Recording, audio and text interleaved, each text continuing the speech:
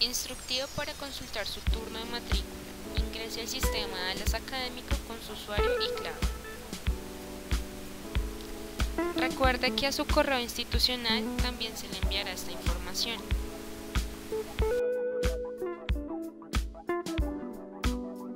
En la parte izquierda de la pantalla encontrará el link Consulte su turno de matrícula. Haga clic. En la pantalla principal podrá observar su fecha, hora y para realizar su inscripción.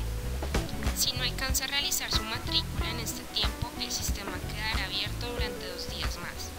Le aconsejamos realizar su inscripción en el horario indicado.